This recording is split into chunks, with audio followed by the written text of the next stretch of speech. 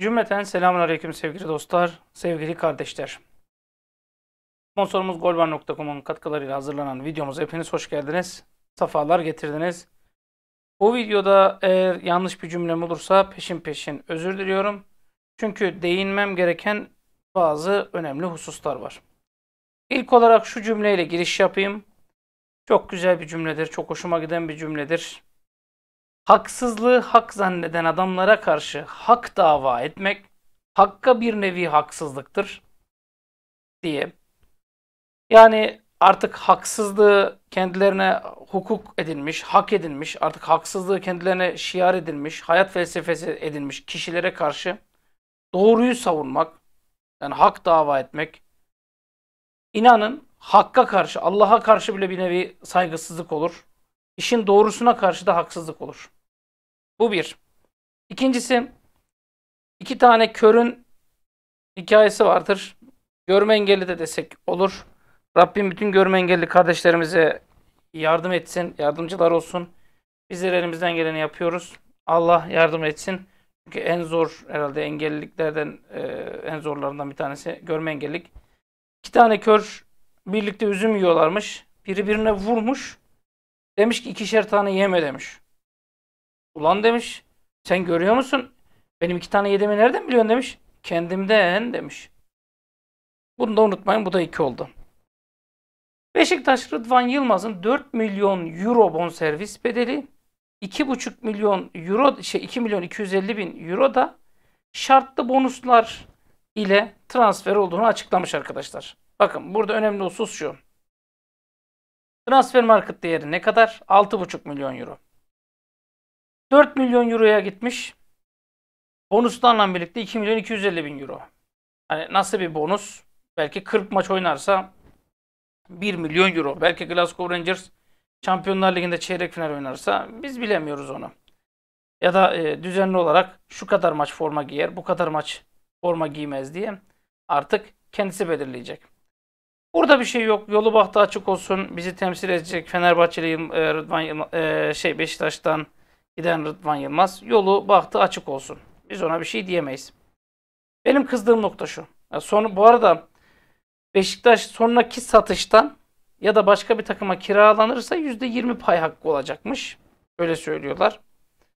Şimdi yeri göğü inlettiler. 6,5 milyon euro artı sonraki satıştan %50 pay diye.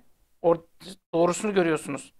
Güzel bir Beşiktaşlı bir duyumcu var. Dedi ki Beşiktaş ve Rangers Rıdvan Yılmaz transferi için 6,5 milyon euro bonservis bedeli ve sonraki satıştan kardan pay %20 karşılığında anlaşmaya vardı. Yani 10 milyon euroya satıldı. 3,5 milyon euronun %20'si Beşiktaş'ın olacak şekilde. Rıdvan Yılmaz'ın temsilcisi Rangers yetkilileriyle sözleşme detayları görüşüyor. Şimdi arkadaşlar bakın buradaki kelime oyununu anladınız değil mi? 4 milyon euroya sattılar. Bonservislerle 2 milyon 250 daha çıkabilir. Şey bonuslarla birlikte. Ama 4'e satıldı. Yani 6.5 artı bonus 3.5'a satılmadı. Bir. İkincisi ikinci kısımdakinin yani yanlış duyumcunun şeyi doğru. Hani kardan pay kısmı doğru. Bakın burada belirtilmiyor kardan pay olduğu. Yani gözünüzün önünde neler oluyor, neler bitiyor sizin kafanızda sadece Fenerbahçe. Dün Ersun Yanal'la ilgili Rami'den e, aşağılık sözler geldi hiç hak etmediği sözler geldi Ersun Yanal. Bakın Ersun Yanal, Aykut Kocaman, Hamza Hamzoğlu, Mustafa Denizli. Bu dört ortak ismin özelliği şu. Duyum kaynağı bizzat bu kişilerle telefonda görüşüyor. Yani görüşebiliyor, aradığı zaman şey yapabiliyor. Birçok kez de selamlarımı iletti. Bakın Mustafa Denizli, Hamza Hamzoğlu, Aykut Kocaman, Ersun Yanal. Hani aklıma gelenler şimdilik bunlar. Ee, Güvenç Kurtar da vardı sanırım. Hani bilin diye söylüyorum. Bu isimlerin hepsine de kefil benim duyum kaynağım. Biri Beşiktaş'ta, biri Galatasaray, biri şu. Geçiniz onları. İnsanlıklarına kefil. Bakın Aykut Kocaman da dahil. Yanlış anlamayın. Çıktı Rami Efendi Fenerbahçe döneminde oynamak için hocaya yakın menajerle çalışmam söylendi demiş. Ya daha birçok saçmalık vardı da Ersun Yanal da açıklamalarda bulundu. Fenerbahçe döneminde dönemimde oynamak için hocaya yakın menajerle çalışmam söylendi. Neden diye sorduğunda Türk bir menajerle çalıştığın zaman bu primin teknik direktör ile paylaşıldığını ve antrenörün de bu sebeple seni oynatmak zorunda kaldığını söyledi. Yani sen Türk menajerle çalışırsan antrenör de seni mecbur oynatır. Senin maç başı parası alacaksın ya onun yarısını da teknik direktör alır demiş.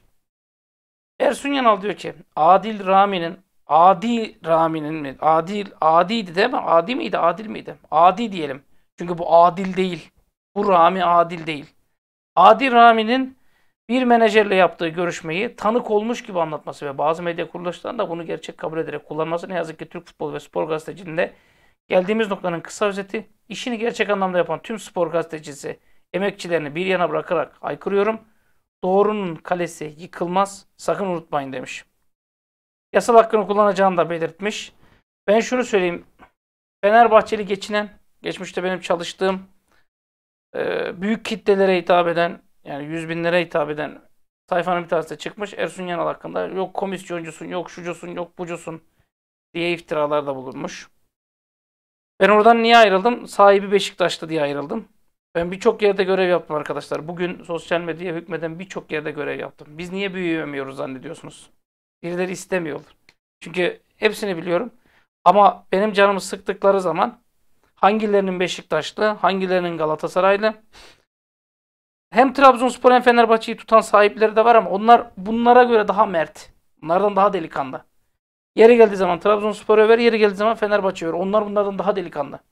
Bunların alayı toplansa onların el, şey yapamazlar. Yani tırnağı etmezler. Onu da belirteyim. Onlar kendilerini biliyorlar. Hangi sayfaların sahipleri oldukları. Onlar kendilerini biliyorlar. Gerçekten bak.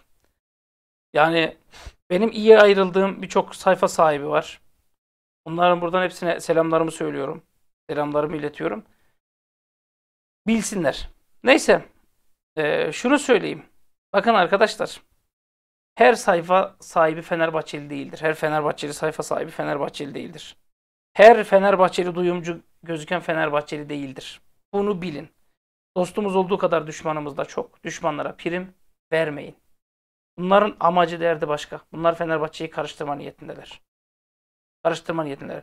Misal bir tane örnek vereyim size.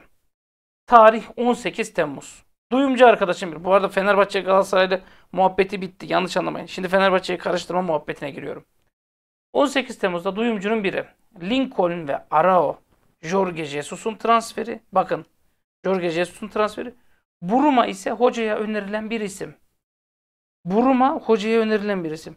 Bunun ben arkasını doldurayım. Şunu demek istiyor. Hani Ali Koç dedi ki ya Buruma diye bir topçu var. Eskiden biz burada oynadı. Çok iyi topçu. Hadi bunu alalım demiş. Jesus da demiş ki biz salağız demiş ekipçe. Geri zekalıyız demiş ekibiyle birlikte. Öyle demiş. Biz hiç futbolcudan anlamayız. Hiç kimseyi bilmiyoruz. Hadi sizin bu sefer de sizin dediğiniz olsun demiş. Ben bunu çok güzel yalanlamıştım. Çok güzel kalıba sokmuştum. Dün bir düzeltme geldi.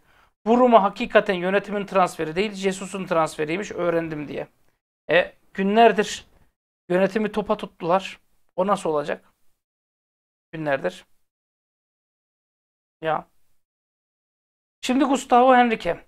Gustavo Henrique'yi niye istemiyorlar biliyor musunuz? Ben size söyleyeyim mi niye istemiyorlar? Çünkü sosyal medyada şahsın bir tanesi, duyumcu şahsın bir, en az bir tanesi diyeyim, menajerlerle çalışıyor. O şahsın övdüğü futbolcular Türkiye Ligi'ne bir şekilde giriş yapıyor. Kim olduğunu, ismini falan yazmayın. Bilin. Ama böyle isimler var. Gustavo Henrique İstanbul'a geliyormuş. Sözleşmesini feshedecekmiş. Sözleşmesini feshedecek bu kafanızda kalsın. Gustavo Henrique transfer için Flamengo ile resmi evrakları imzalamış Fenerbahçe. Bak resmi evrakları imzalamış. İyi dinleyin. Sağlık kontrolü resmi sözleşme imzalamak için bugün İstanbul'da olacakmış. Bunu da veren bir duyumcu. Sağlık kontrolünden sonra bu hafta Fenerbahçe'ye imza atacakmış. 2 milyon 800 bin euro bonservis bedeli iki taksit halinde ödenecekmiş. Bunlar hepsi Fenerbahçe'nin bu duyumları verenlerin. Gerçi yurt dışından alıp ya da çalıp veriyorlar. Orası ayrı mesele de. Neyse. Şimdi çarşamba günü ya da bugün salı günü ya da çarşamba günü e, İstanbul'da olacağını söylemişler. Ki benim videomda sabit ne zaman olacağını da söyledim de neyse. Hatta kap tarihini de söyledik de neyse. E, Türkiye saatiyle 21'i 13.55'te İstanbul'da olan yolculuğu başladı. Nasıl? O saat 14'te Paris, Chers bilmem ne havalimanına inecek. 23.55'te İstanbul uçağına binip gece 04.20'de İstanbul'da olacak. Yani çarşamba günü diyenler de var. Şimdi ben size Gustavo Henrique ilgili bir bilgi vereyim. Gustavo Henrique kaç milyon euroya alındı? 3.6 milyon euroya alındı Gustavo Henrique. İyi dinleyin. Aynı Gustavo Henrique bir gün sonra 3 milyon euroya alındı. Aynı Gustavo Henrique 2.8 milyon euroya alındı. Hatta 1.4 1.4 olmak üzere iki taksit ödeyeceğiz. Niye ise? Malız ya. Niye iki taksit ödüyorsak? Şu an kaç milyon euro artıdayız ama geri zekalıyız. İki taksit ödeyeceğiz. Hem de ay, iki ay arayla yani. Aynı Gustavo Henrique iki gün önce 2,5 milyon euroya alındı. Aynı Gustavo Henrique için son kurşunlarını atıyorlar. 2 milyon euroya düşecekler. Aynı Gustavo Henrique için sözleşmesini feshedecek e, duyumunu sağlam birisi verdiği için şimdi kıvırmaya başlıyorlar. Aslında Fenerbahçe bedava alıyor bu ismi diye. 5. stoper konumunda Fenerbahçe bir şekilde bedavaya getiriyor. Alacaklarından feragat etti şöyle böyle diye. Alın size Türk duyumculuğu. Alın size Türk medyası. İyi de hocam senin yanıldığın duyum hiç olmuyor mu? Tabii ki de oluyor. Yanıldığım duyum oluyor ama Fenerbahçe'yi sattığım duyum hiçbir zaman olmadı. Olmayacak da. Olursa defolun gidin. Bırakın beni. Sakın bu kanalda durmayın. Eğer Fenerbahçe'yi sattığım bir duyum gerçekleşirse sakın bu kanalda durmayın. Durmayın abi. Ben buradan birilerine dert olmuş. Yazıyorlar işte. Adam diyor saç ektiriyor. Siz reklam tıklayın şöyle böyle. Bu mallara birisi geri zekalılara birisi benim gerçek hayatta öğretmen olduğumu söylesin. Öğretmen maaşını söylesin. Allah'a binlerce sonsuz şükürler olsun. Can borcum dışında borcum kalmadı. Borcu olmayan bir adamın ne kadar para biriktireceğini söylesin. Ve bu geri zekalılara birisi desin ki bu adamın şurada sponsoru var. Bak şurada sponsor var golvar.com. Şurada şurada. Şurada. Golvar.com'a rica etse dese ki benim saç ekim masrafımı üstlenin. Bugün üstlenirler. İkincisi saç ektirdiği firmaya gitsin desin ki ben sizin reklamınızı yapacağım. Hani benden para almayın deseler. Onlar da bedava yapar. Ya birisi bu geri zekalılara bir şeyden bahsetsin. Şu anda çektiğim video çektiğim bilgisayar. Hani şu an e, kula- şeylik bluetooth kulaklığımdan tut. Mouse'uma kadar. Arkadaki fona kadar. Yani burada karşımda tablo var. Çok güzel eserler var. Fenerbahçeli şeylerim falan var. Diğer bilgisayar. Bunların hepsi dostlarımızın hediyesi. Yani bizde paranın işleyişi farklı. Çok mu merak ediyorsunuz? Kazandığımız parayı çok mu merak ediyorsunuz? Şerefiniz varsa 10 TL verip üye oluyorsunuz. Şerefiniz varsa. Bak şerefiniz varsa 10 TL verip üye oluyorsunuz. Namusunuz varsa 10 TL'ye üye olduktan sonra içerideki videoları gidin anlatın dışarıya. Ne şekilde videolar çekmişim. Mesela paraları nereye kullanmışım? Onunla ilgili videolar var arkadaşlar. Bak şerefiniz varsa 10 lira verip üye oluyorsunuz. Namusunuz varsa içeri girip üye olup üyeler özel listesi var orada. Hatta ben onu ikiye ayırayım. Projeler diye. O projeler videolarını izleyin. Bak namusunuz varsa ki yok ben biliyorum. Bunu e, dışarıya açıklayacak namusunuz yok sizin. Eğer siz bunu dışarıya açıklayın yarın bizim üye sayımız 10 bin 15 bin olur. Bak üye sayımız. Aboneden bahsetmiyorum. Üye sayımız 10 bin 15 bin olur. Hadi hodri meydan. Madem namuslusunuz, madem atıp tutuyorsunuz üye ücretine şuna buna. Bak şerefiniz varsa üye oluyorsunuz. Namusunuz varsa çıkıp diyorsunuz ki paraları şu şekilde harcamış. Videosu var diye kanıtlı bir şekilde. Hadi bakalım. Size de söylüyorum arkadaşlar. Tereddütünüz, şüpheniz varsa çıkın gidin. Ben burada günlük saatlerimi harcıyorum. Kaç kuruş kazansam helali hoş olsun. Değil mi? Kaç kuruş kazansam. Basit bir şey değil arkadaşlar. Ağzınızdan bir kelime çıkıyor. Uğraşıyorsunuz. Karakollarla şunlarla bunlarla uğraşıyorsunuz. Bir kelimeye. Bir kelime. Bir, bir cümle çıkıyor. Niyetim bu değil deseniz bile uğraşıyorsunuz. Başınıza gelmedik şey kalmıyor. Bu büyük risk. Şuradan ben aylık 100 bin lira da kazansam, 500 bin lira da kazansam inanın kuruşu kuruşuna helal olsun dersiniz. Ama paraların ne şekilde kullanıldığını öğrendiğiniz zaman o zaman bence daha çok helal hoş olsun dersiniz. Ve ben bu arkadaşlara da Hodri Meydan diyorum. Şerefleri varsa, namusları varsa buyursun. Yoksa da iftira atmayı sürdürsünler. Herkese de rezil olsunlar. Şimdi ee, bir arkadaş Luis Suarez ismini ortaya atmış. Luis Suarez için bana gelen son duyumlar Atletico Madrid'e geri dönme ihtimali var. Borussia Dortmund'un ilgilendiği şekilde. Fenerbahçe'ye gelme ihtimali var mı? Şu an için yok. Keşke olsa bak. Çok istediğim bir isim. Keşke olsa. Hocam o zaman niye sosyal medyaya yayıldı? Ben niye yayıldığını anlatayım arkadaşlar? Hani bana iftira atıyorlar ya. O yüzden yayıldı. Bana iftira attıkları şeyi kazanmak için yayıldı. Ankara gücü Lamine Diak ile 3 artı 1 yıllık sözleşme imzalandığını açıklamış. Geçtiğimiz günlerde Fenerbahçe tarafından lisansı çıkarıldı. Bonservisine birlikte Ankara gücüne verilmiş. Detayı yok. Ne oluyor diye.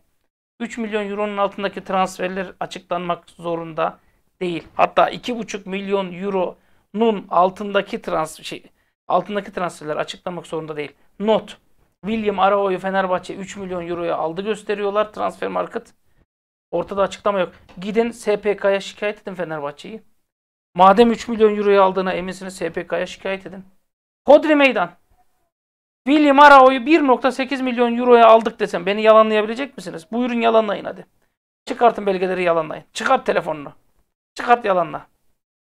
William Arao'yu 1.8'e aldık desem beni yalanlayabilecek misiniz? Hadi Hodri meydan ya.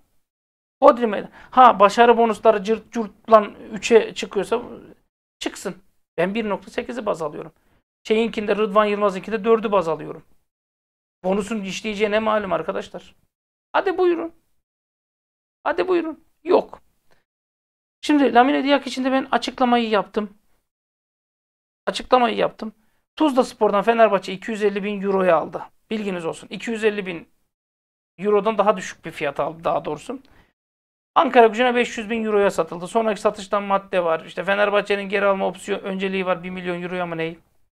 Bilginiz olsun. Zaten daha önceki videolarda da söyledim. Alın size durum arkadaşlar. Alın size duyun. Hülle mi yaptı, şunu mu yaptı, bunu mu yaptı? İzin vermiyorsunuz ki. Hiçbir şeye izin vermiyorsunuz ülkede. Rezerv takım, pilot takım. Bak Galatasaray pilot takım aldı küme düştü. Pilot takımı küme düştü Galatasaray'ın şeye kadar düştü. Kim pilot takımı verir? Kim takımını satar? Ha partner takım var. Anlaşma yapıyorsun. Arkadaşlar partner takım deyince namusunu şerefini falan satmıyor takımlar. Bakın şöyle anlatayım size. Mesela Trabzonspor'la 1461 Trabzonspor. İki takım partner takım. Anlayın diye anlatıyorum. Aynı zamanda iki takım pilot takım. Çünkü isim aynıydı, şey aynıydı. Ama şehir aynı olduğu için değil. Pilot takım değildi diye biliyorum. Partner diye. Partnerlik şöyle oluyor.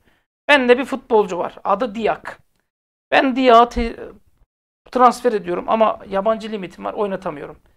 Partner takıma diyorum ki bu futbolcuyu sen transfer ediyorsun. Seninle bir madde imzalıyoruz. Parayı sen veriyorsun. Oynatıyorsun. Yıllık ücretini ben karşılıyorum. Ben yıllık ücretini fazladan fazladan veriyorum. Sen oradan kendi bonser, bonservise verdiğin parayı da alıyorsun. Alt lig takımı olduğun için senin transferin daha ucuza denk geliyor. Madde koyuyorum. Bu sende parlarsa ben senden şu kadar parayı alırım. Ya da satışının yüzde şu kadarı senin olur diye madde koyuyorum. Bu partner takımlık. Bizim böyle piyasada birçok topçumuz var.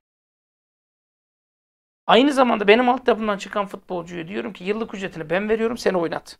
Ya da oynatma garantisi yoksa sen veriyorsun. Futbolcunun satışından %5 pay senin. 5 milyon euroya gitse sana 500 bin euro veriyorum diye. Birçok takım da bunu kabul ediyor. Şu anda bizim asıl yapmamız gereken bu işte partner takımlık. 8 tane 10 tane partner takımın olsun. 3'er tane futbolcu ayarla. 30 tane futbolcu yapar. Her birini bak her birini 1 milyon eurodan satmayı becersen 30 milyon euro. Ya %70'ini al ya 21 milyon euro senin olsun. Taş attığında kol, kolun mu yoruldu? Anladın mı? Bu da okey. Ruben Semedo. Ruben Semedo olayında e, Ali Koç'un yalanladığı böyle bir transferin gerçekleşmeyeceği söylense de ben şunu söyleyeyim. Ben Ruben Semedo adına üzgünüm. Ben Fenerbahçe düşmanı bazı kanallar var. Muhtemelen Özal, Turgut Özal'ın rahmetlinin şeyini ee, suikastini yıkacaklar. Susurluğu muhtemelen Ruben Semedo'ya atacaklar. 15 Temmuz darbesinde Ruben Semedo'nun parmağı vardı diyecekler. Koronavirüsün dünyaya yayılmasında Ruben Semedo'nun saçları etkiliydi diyecekler ben eminim. Hani şey ya şöyle bir poz var şeyin Turgut Özal'ın oğlunun. Babamı şu öldürdü diye. Onu televizyon kanallarına çıkartıp babamı Semedo öldürdü falan dedirtecekler. Ben şimdiden söyleyeyim yani. Ya Fenerbahçe'de oynamak büyük cesaret ister. Ha şunu söyleyeyim. Benim gözlemlerime, duyumlarıma göre Semedo'da, Gustavo'da ne söylediysem hala arkasındayım. Herhangi bir iptal, şu bu bana ulaşan bir şey yok arkadaşlar. Herkesin duyumuna saygı duymakla beraber bana ulaşan bir şey yok. Fenerbahçe Dinamo Kiev maçını Ertem Şener anlatacakmış. Şimdi ayvayı yedin Dinamo Kiev. Ebenizin TC numarasına kadar, gerçi TC numarası yoktur da pasaport numarasına kadar hepsini öğreneceğiz. Şimdi siz düşünün. Zigorski. Zigorski orta. Bu arada Zigorski'nin babası Alman. Annesi Fransız. Kendisi Ukrayna vatandaşı ama Danimarka milli takımında oynuyor. Zigorski küçükken misket oynamayı çok severmiş. Türk bir arkadaşı varmış. Babası Fenerbahçeliymiş. Bu arada Fenerbahçe 1-0 öne geçiyor. Lan ne güzel olur inşallah. Hadi bakalım. Lincoln. Evet Lincoln'un golü. Ee, Zigorski'yi anlatıyorduk. Zigorski şu anda kaynanasının evinde kalıyor. Kaynanasının e, Polonya'daki evinde. E, e, evet bu arada Fenerbahçe penaltı kazandı. Penaltıda topun başına kim geçiyor arkadaşlar? Joshua King falan. Lan ne güzel olur ya. Ayva yediniz ki. Kiev. Şimdi e, Playa içinde bakın duyumlarım sabit ama yine de Playa'da da söyleyeyim bunu bitireyim. Bir duyumcu demiş ki Playa için Fenerbahçe'nin ilgisi olduğu doğru. Kolay bir transfer değil. Rakamlar küçük rakamlar değil. Ee, olması için çalışılıyor demiş. Yani hani iptal? İptal mi iptal yok arkadaşlar. Uğraşılıyor. Ya bu transferi ne olur şöyle algılamayın. Bu Playa bu kaç lira? 5 euro. 4 versek Abi 4 versek başka paramız yok. En son kaça bırakırsın? 4 euro 25 sent. Tamam abi. Hemen veriyorum. Çocukla mı göndereyim ben mi getireyim? Hemen şimdi. Al abi karttan. Şeyi var. Temassızı var abi. Okutturayım. Dıt. Tamam. Ver abi playa'yı. Aldım playa'yı. Görüşürüz abi. Bitti. Lan bu kadar basit olsa. Bu kadar basit olsa. Bu arada Ronaldo, Cristiano Ronaldo da Atletico Madrid'e gidiyor ha. Ee, enteresan şeyler var. Duyumlar var. Aklıma gelmişken. Adnan Yanuza'ya Galatasaray talip. Ertem şey nereden gelmişti? Vardı ya işte. Diego Costa kesin Beşiktaş'ta. İşte Ronaldinho. Ronaldinho Fenerbahçe için imza geliyor falan diye böyle bir potporisi vardı ya hiçbirinin tutmadı. Gerçi bizim ülkemizde hiç duyum tutturamayan çok kişi oluyor genelde de. Neyse. Şimdi küçük rakam küçük rakamlar değil dediği yani 5-6 milyon eurocuklar kulübü 9 istiyor. Sonra biz 4 veriyoruz. Kulübü 5'e iniyor. Biz 4 veriyoruz. Sonra başkaları araya giriyor. Onlar 7-8 veriyor. Biz hala 4 diyoruz. Enteresan. Hocam ya biz böyle bu, bu kafayla gidersek alamayız. Arkadaşlar bu kulübün bir ekonomisi var. Ve ekonomisini düşünmesi gereken kişi siz değilsiniz. Eğer altından kalkamazsa hapse girecek kişi düşünecek. Siz değil, ben değilim. Anlatabiliyor muyum? Hocam Kim Minci'den 20 geliyor. Şuna bu kadar verdik, buna bu kadar verdik, Petro'ya şu kadar verdik. Hocam biz biz niye alamıyoruz ya? Biz niye alamıyoruz hocam? Bizden niye yok? Bak Fenerbahçe transfer market mesela. Ki oradaki veriler de doğru değil transfer markettaki ama doğru kabul ederek girdim. Doğru kabul ederek girdim. Şu anda Fenerbahçe bilançosu eksi 10 milyon 980 bin euro gösteriyor. Rossi 5.5, Pedro 4.68, Lincoln 3.5, Arao 3, Emre Mor 2, Lamine Diak 250 bin euro, Thiago Çukur 250 bin euro gösteriyor. Gidenlere de bakalım. Allah Yar 4.5, Ozan Tufan 3, Diak 500 bin, Arda Kurtulan 200 bin diyor. Çok eksik var burada. Çok çok eksik var. Eksi yaklaşık 11 milyon euro diyelim. E Kim Min bugün 20'ye satsan yani 20'ye satsan 20'ye satmış olsan artı 9'dasın. Değil mi? Ha, bu, bu mantıkla 5 milyon euroyu ver Playa'ya kaldı 4. Belki de şeyi e, Gustavo'yu bedava alacaksın. Hala 4 kaldı. Hala 4 kaldı. Nino'yu alacaksın belki 5 milyon euro almak istiyorsun. Belki e, gerçi Nino zor da. Hani başka birini alacaksın. Diyelim 5 milyon euroya da onu alacaksın. Eksi birdesin. İşte Pelkas'ı Melkas'ı gönderirsin. Onu da alırsın. Sol beki de işte ücretsiz dedem ücretsiz dedem bir şey çekersin. E baktığın zaman Fenerbahçe'nin kurulu bir ekonomik sistem var arkadaşlar. Hani diyorsunuz ya parayı bas al. Belki de denk bütçeyi yapmak için kılık kırık yarıyorsun. Not. Gitmesi gereken futbolculara da belki bu yüzden göndermiyorsun. Elinde para var. Elinde para var. 6'ya çıktık biz. Dese ne yapacaksın? Belki de bu yüzden geciktiriyoruz. Burası şifre. Belki de bu yüzden geciktiriyorsun. İnşallah anlatabildim. Ama biraz sabırlı olun. 3 gün sonra olsun, 5 gün sonra olsun. Bakın ben Fenerbahçe'yi diğer takımlarımızda izledim. Yani Beşiktaş'ı da, Trabzonspor'da, Galatasaray'da hepsine başarılar diliyorum.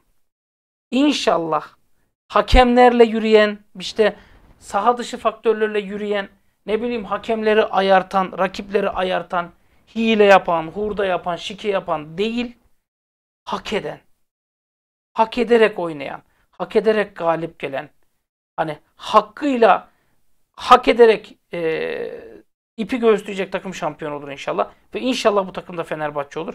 Ben her takıma başarılar ve adalet diliyorum. İnşallah her takımımız adaletle hükmedilen maçlar oynar. Her takımımızın e, kendisi de rakipleri de adaletli maçlar oynar. Hakemler gördüklerini çalarlar, talimat aldıklarını değil. İnşallah arkadaşlar bu duama herhalde amin dersiniz. Ne kadar biz sahada rakibiz arkadaşlar. Düşman değiliz ya gözünüzü seveyim ya.